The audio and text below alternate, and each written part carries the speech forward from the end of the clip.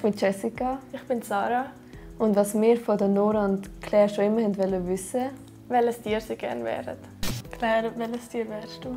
Ähm, ich glaube, ich wäre gerne ein Loi, weil halt ein Loi für mich wie so einen starken Charakter zeigt.